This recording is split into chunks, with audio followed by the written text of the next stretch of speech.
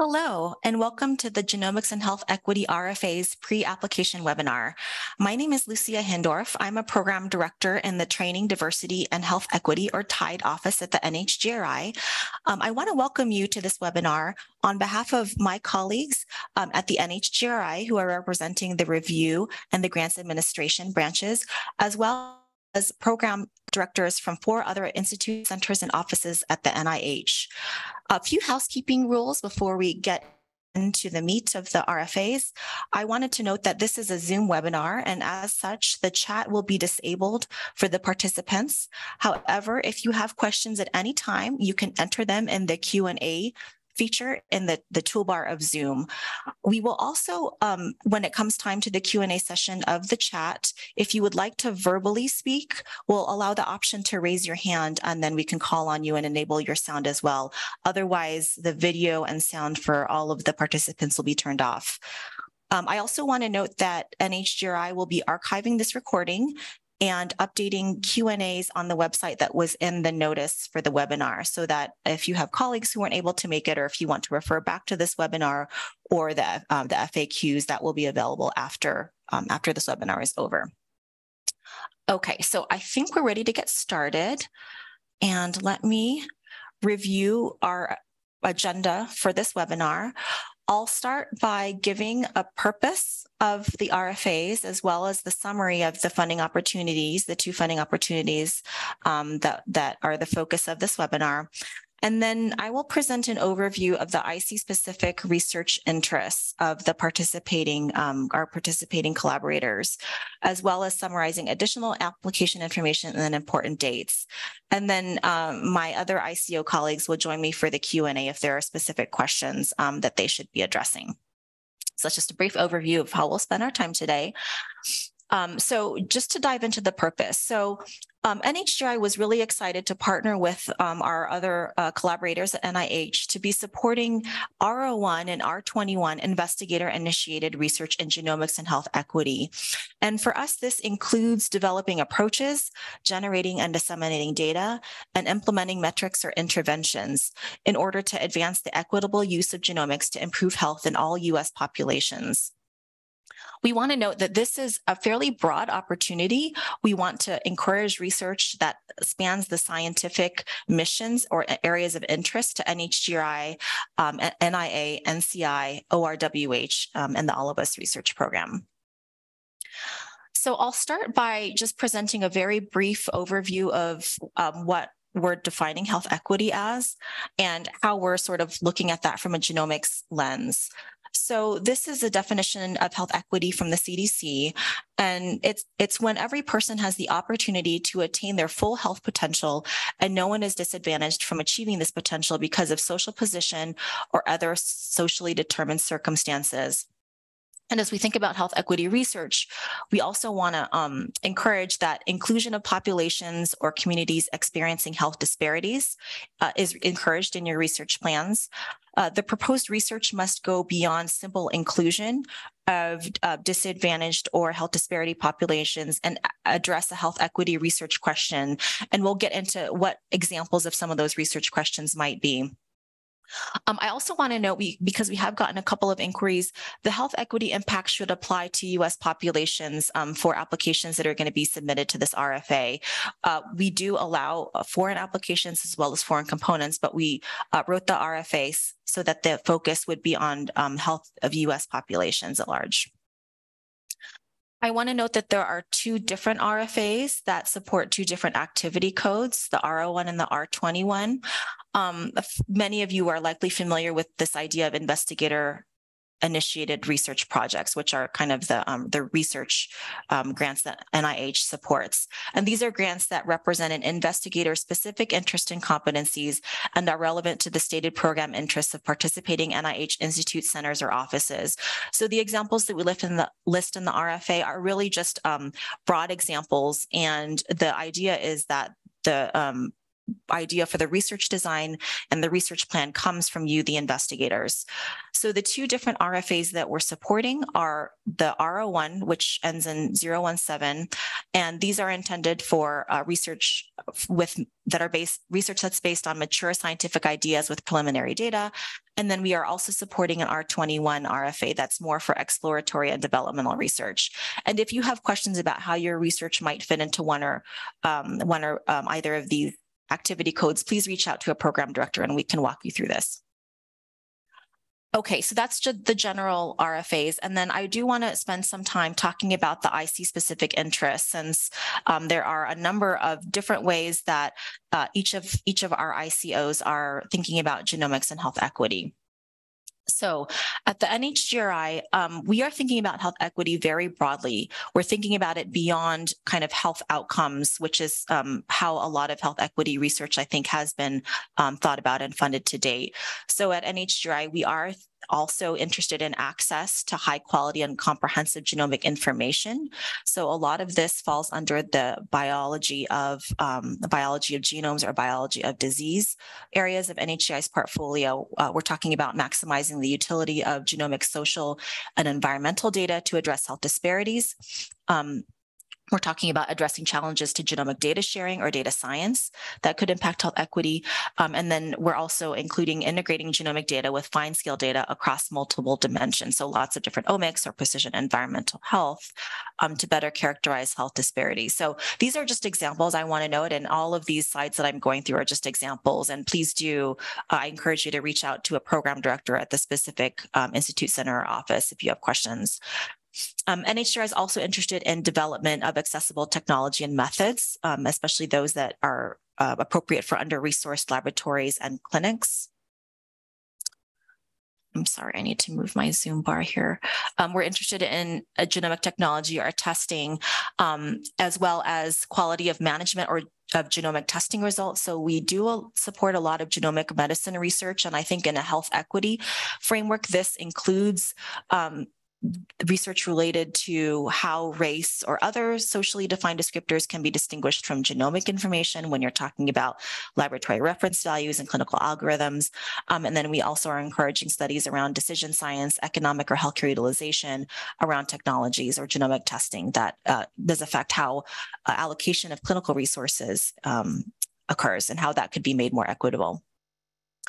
Um, and then finally, the, the last um, area is acceptability of genomic approaches and interventions to the public.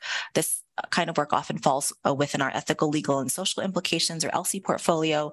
Um, the examples we have here are developing and applying metrics of health equity and genomic research that are acceptable and useful to communities, participants, and researchers, and identifying and overcoming barriers that limit participation in and benefit from genomic research um, to, to the public and to the broad US population. Okay, so the next um, institute that I will be overviewing is the National Cancer Institute. They are interested in supporting discovery, utilization, and translation of genome genetic information um, as it relates to the prevention, detection, and treatment of cancer across diverse populations. And this can be done through a number of ways, including integrated analysis of diverse populations through holistic approaches, such as system modeling, studies of cancer types that are rare or disproportionately affect the understudied populations, novel recruitment efforts in underrepresented populations, and partnership with national and global programs and consortia. NCI is also encouraging the leveraging or enhancing um, resources that, that NCI supports and investments related to, um, I'm not going to read through all the examples, but uh, just the kind of broad categories. So these resources include uh, those identifying and recruiting cancer cases, um, incorporating data through linkages to existing databases with relevant exposure, administrative, and health-related data, community engagement, and cost-effective exposure assessment and genomic profiling. So there's a lot of really good, um, useful resources here, and we'll make sure these are available to you all um, in the slides, and they're also in the RFA. Okay, our partners at the National Institute on Aging, or NIA, are interested in applications that focus on aging research as well as Alzheimer's disease and related dementia, studies drawing from data across the lifespan, applications um, um, are encouraged to ex, uh, ex, are expected to factor sex as a biological variable into research. And then um, they've also provided some information on their strategic directions for research, as well as examples of research milestones. So I encourage you to look at um, those documents as well. Our colleagues at the All of Us Research Program are interested in supporting R21 applications focused on understanding how social determinants of health influence genomic variations between and with within human genetic ancestry groups, how contributes to unequal burden of disease risk, development risk, um, disability severity and progression across sorry across populations historically underrepresented in biomedical research. Um, they wanted to point out that unresponsive applications include those that only address differences in genomic variations and biological processes across populations without addressing social determinants of health in the study design. And then um, this schematic, I think, is helpful in understanding um, the un underrepresented biomedical research categories that the All of Us research program uses. Um, I won't read through them all, but they're they're very holistic, and I encourage you to um, to read more about this if your application is going to be using All of Us research data.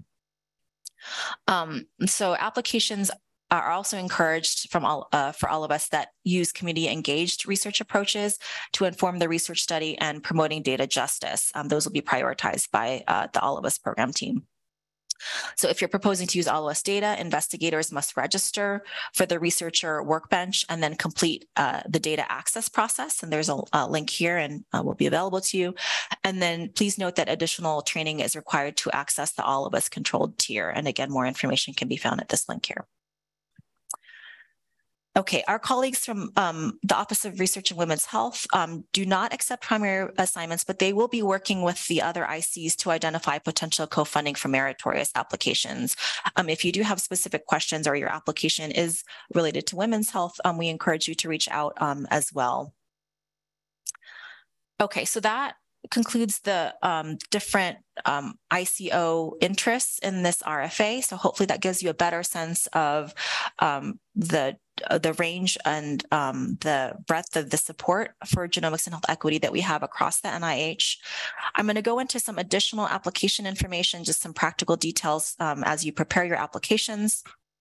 So first of all, um, this information is all in the RFAs, but if you're planning on submitting an R01 application, please note that there is a limit of um, up to 500,000 in direct costs per year.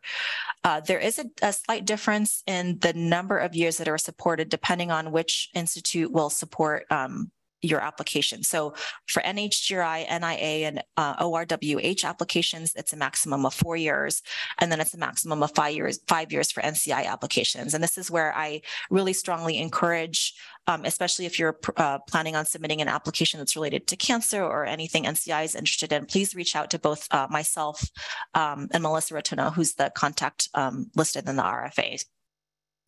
If you're interested in submitting an R21, please note that your budget limit will be up to $200,000 in direct costs per year for a maximum of two, a two-year project period. Okay, um, one new-ish facet of this RFA, at least for NHGRI, is that we are requiring for both R01 and R21 applications a plan for enhancing diverse perspectives. Um, this is a, a new um, component that um, other initiatives at NIH, uh, notably the BRAIN initiative, have been pioneering. And what this is, is basically a one page addition to your application that describes how you will advance the scientific and technical merit of the proposed project through inclusivity. And the um, PEDP guidance material that we linked to in the RFA shows examples of possible strategies. These should be tailored to your research aims. And so, you know, I can't give you, for example, a checklist of things that you should or shouldn't include. Um, and I should also notice that there's obviously going to be a difference in scope between R01 and R21 research. And so the PEDP would be tailored accordingly, uh, uh, uh, accordingly to the scope of that research.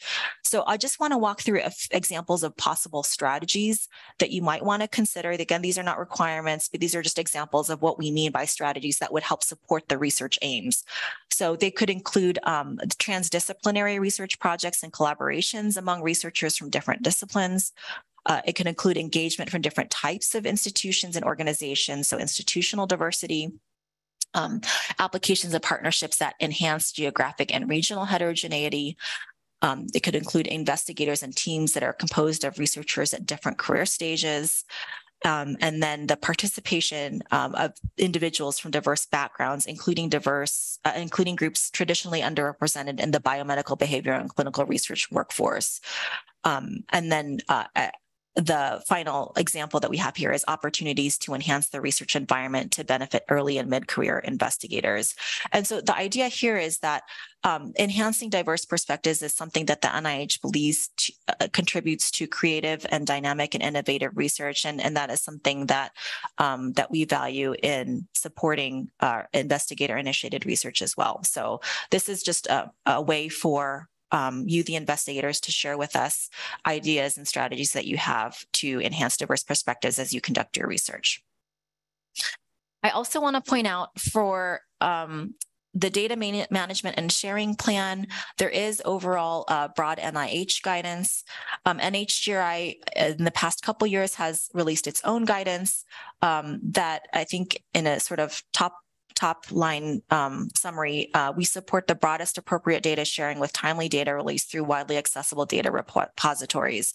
Um, if you're generating or using data, these will be um, important considerations for you to, to address as well. So feel free to follow up with me or any of the other program directors if you have questions about um, what a da data management and sharing plan component means or how it might apply to your application.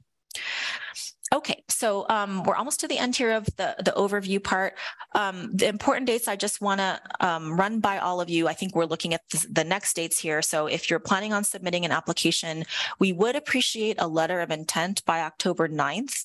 Um, it's not required um, and it's not binding. So if you send one in, you're not obliged to submit an application. And also, if you are still deciding and you don't send a letter of intent and by October 9th, you still are allowed to um, submit an application. But we do encourage them because it helps us plan for kind of our review workload. The deadline that you do all need to meet if you're planning to apply for this cycle is November 8th, 2023. So that's our first deadline. And then we will have successive deadlines in July of next year, uh, 2024, and then July um, of 2025 as well. Okay, so um, we've now come to the question and answer portion of the webinar.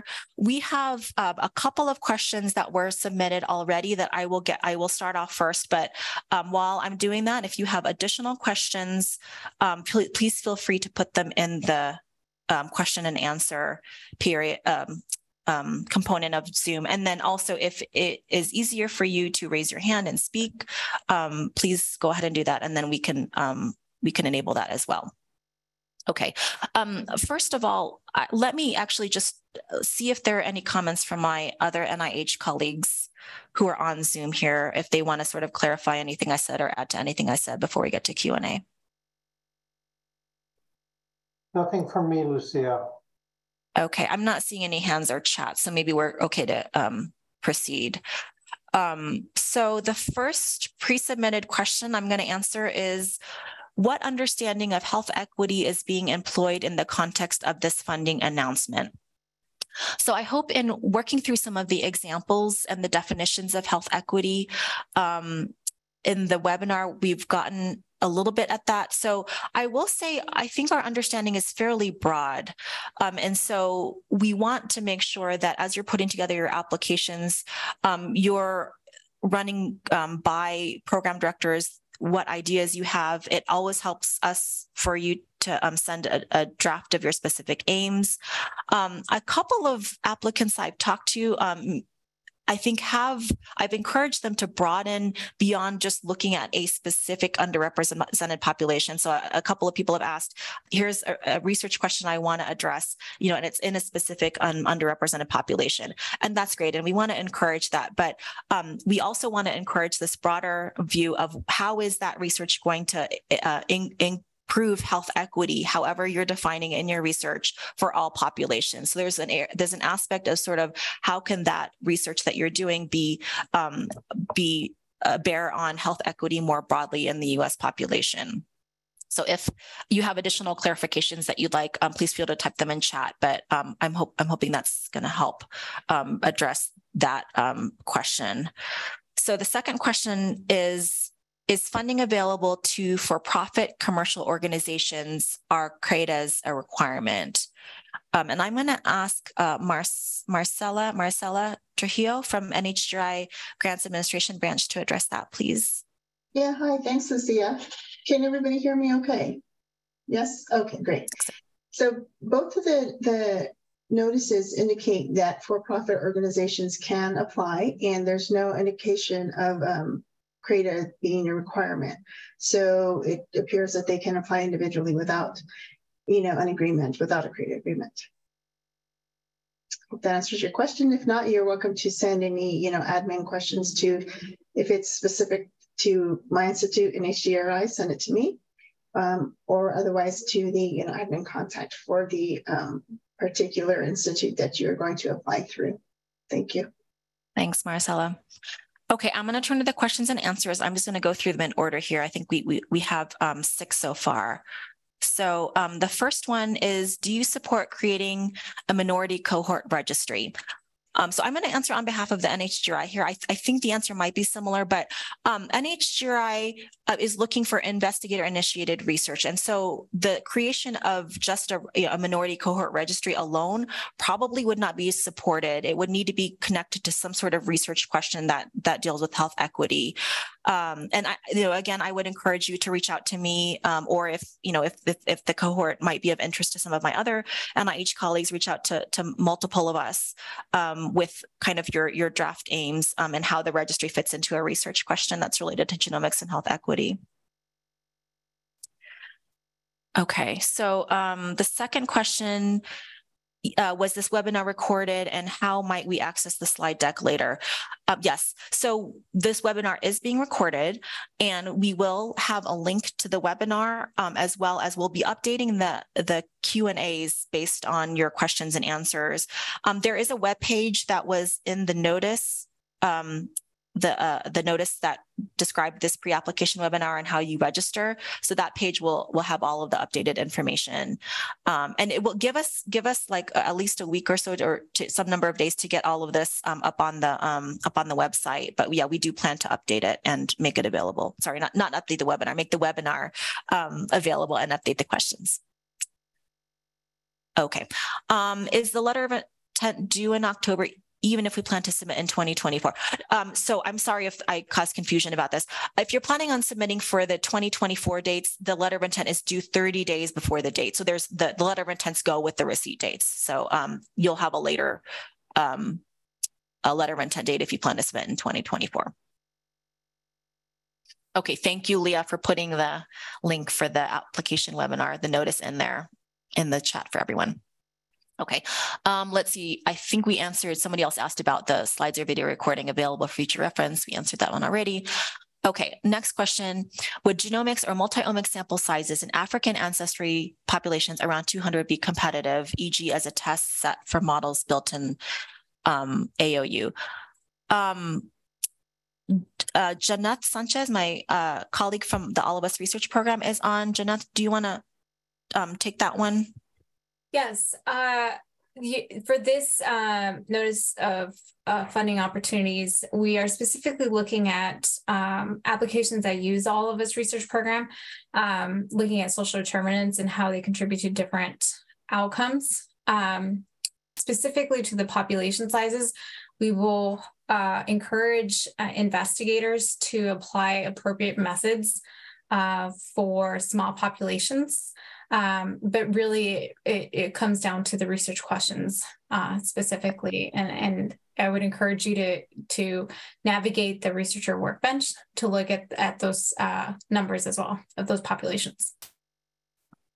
Yes, Janeth. And I think it's probably worth mentioning again that um, the All of Us research program is signed on to the R21, but not the R01 um, RFA. So I think that kind of also tells you a little bit about the scope of the research that they'll be supporting. Okay. Um, there's a question, is there a preference of the type of institutions that the researcher should be affiliated with, basic research, clinical research, NGO, governmental, private? Um, so we actually don't have a preference. We do have a list of eligible institutions that can be supported. It's quite broad. Um, so that I think is really the um, place I would direct you to. Um, I'm not aware that we would restrict any of these. Um, so the the main, I think, restriction I want to mention is that we um, no, I'm sorry. We do support foreign, uh, we don't support foreign applications, but we do support uh, foreign components of applications. Sorry, that's what I meant to say earlier in the webinar. Um, so yeah, I think if you have additional questions on that, please let me know. But we, we do support a broad range of um, eligible institutions. Okay, I'm not seeing any open questions. Um, Gerald, are there any hands?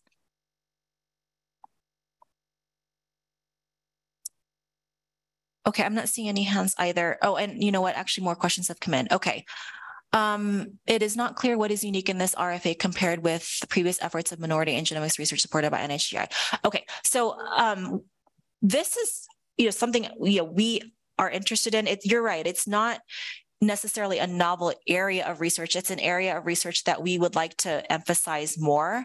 Um, NHGRI in particular has funded um, research in the area of health disparities um, and minority and genomics research. We have a long history of funding this, as, as do other institutes and centers and offices at the NIH. But what we would really like to do is um, lead the way in convening a group of investigators to address things that are specific to genomics and health equity. So I think, you know, we kind of want to go beyond um, looking at just individual health disparity populations and um, kind of create more of a portfolio that's more at the leading edge of genomics and health equity. So um, thanks for your question. Okay, um, next question is underrepresented workforce, PI or co-I in the team a necessity for this RFA? No, we we encourage everyone to apply, um, in, in, including um, PIs who are from underrepresented populations, but it's not an it's not a requirement. Okay. Um, is there a preference for retrospective versus prospective studies with new recruitment? Um, I I would say this probably depends on your research question, maybe a little bit which institute might be supporting your research. It's it's really hard to answer this question. Just it's it's very broad. Um, you know, I, I will say um, uh, some of the applicants I've been talking to, I think, um, you know, you do have to consider if you're going to be generating new data or recruiting new participants. We do have um, budget limits that, you know, are kind of the uh, up to 500K for the R01 and up to 200K for the R21. So that might end up being a factor. Um, but again, I would encourage you to reach out to a program director um, and and maybe get get um, the institute center office's take on this. Um, okay, uh, the the question about creating a minority cohort registry. Yeah, so I, I think it it needs to be the minority cohort registry would need to be part of a research question in genomics and health equity. I think we would need to sort of see how how the aims um, were structured around the creation of this registry and what research questions it would answer and how it would answer a genomics and health equity research question. So sorry, it's it's a little bit of a vague answer, but it, I would encourage you to reach out to a program director um, and talk to us more about your idea. Um, okay, our program officers want to communicate via email or call to make sure the yes, ideas are aligned. Yes, yes, we, we encourage that. We've um, been fielding calls and emails from applicants already, so please don't hesitate to reach out. If it looks like your research might be relevant to more than one um, Institute Center office, feel free to, to email, you know, multiple of us, or um, if you want to email me, um, I've also been looping in um, other program directors as well if I, if I think they might be interested.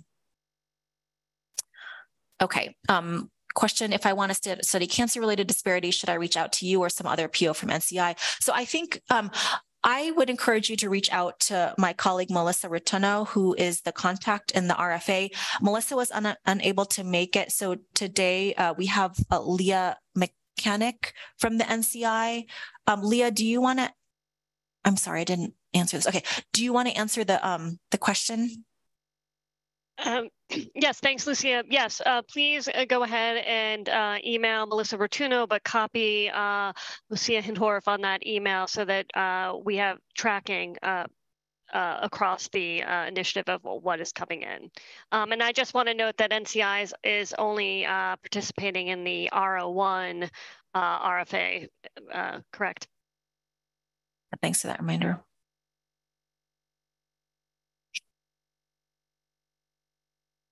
Okay. I don't see any hands. Okay, we have a partial question. Um, is NCI only supporting R01s? Yeah, I think Le uh, Leah just answered that. Just R01s for NCI. Um, we haven't. Okay, Leah, maybe you can put Melissa's contact in the chat. That would be great. Um, do we, do you support training minority type grant? Um, I'm going to try and maybe um, answer this from a very high perspective. I, I, think if you're referring to a training grant that's basically providing opportunities for research to a range of individuals in the context of their their research training, no, these are not training grants. These are research grants um, that address investigator initiated research. So um, hopefully that answers your question. If you have questions about how training or students might fit into the context of a research grant, um, feel free to reach out and, and we can talk about your specific idea. I'm sorry, I'm like not keeping up with the answering here. Okay. So any other questions? Okay, no matter what research area we choose to research, can we still choose NHGRI as IC? So I would encourage I would encourage you to reach out to me. I think if it looks like there's not a clear um, home for your research area, I would encourage you to reach out to me. Um, I think the assignments um, are done by are done centrally. Um, chances are, it, if it doesn't fall clearly within the other um, ICOs, it will probably get assigned to NHGRI. But I, you know, again, I would encourage you to reach out to me. We can discuss your research program your research idea.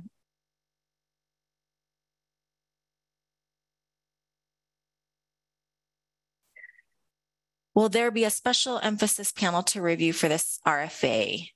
Um, I guess my simple answer is yes, and I will see if Rudy Pozzatti from our uh, review branch at NHGRI has anything to add to this. Sure, just that we'll look at the applications that have come in for review and the kind of reviewer, the expertise of the review panel will be determined by what's proposed in the applications. Thank you, Rudy.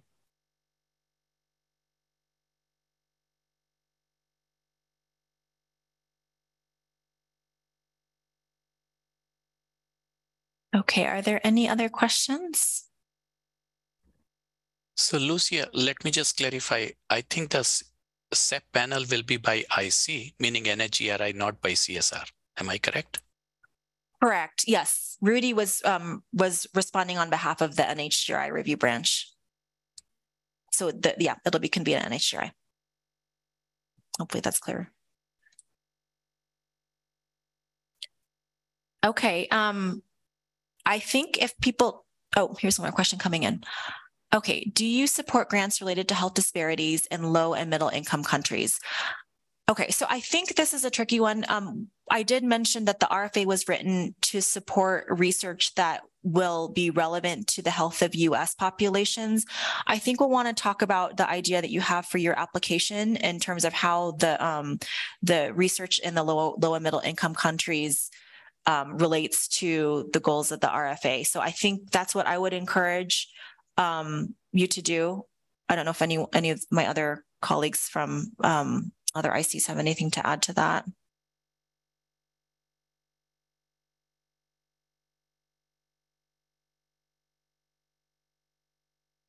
Okay, I hope that helps.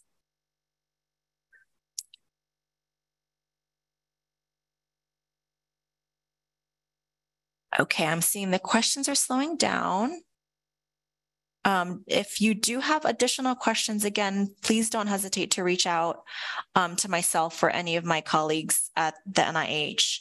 Um, we will make this webinar and we'll update the Q&As um, on the webpage that was in the chat. And again, um, we really appreciate all the interest in this RFA so far. We look forward to talking with you about your applications. Um, and thank you for your interest um, in genomics and health equity. So I think we'll go ahead and um, end the webinar now, and please don't hesitate to be in touch. Thank you all.